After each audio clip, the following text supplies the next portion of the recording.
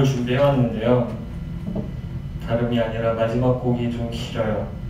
저희가 10분짜리 곡을 한번 준비해봤는데 어, 그냥 푹 빠졌다가 나오신다는 심정으로 감상하시면 좋을 것 같습니다.